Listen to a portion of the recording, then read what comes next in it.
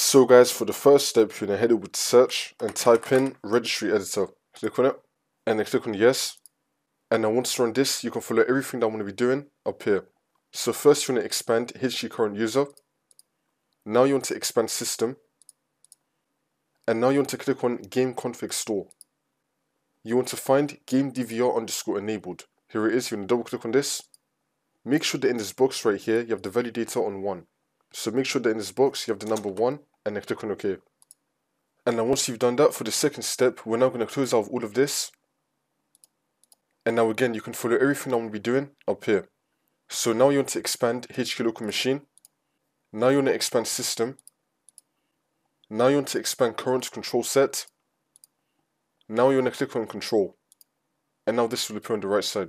Again, you can follow everything that I did up here. And then once you're on this, you're going to find something called portable operating system. If you don't have it, then you want to right click on the white space and then click on new and then click on DWORD 32-bit value. You want to type in portable operating system. Spell it with the same capitals and lowercase and the same way how I did and then click on enter. Now you're going to double click on portable operating system. Make sure that you have the value data on 0. So make sure that in this box you have the number 0 and then click on OK.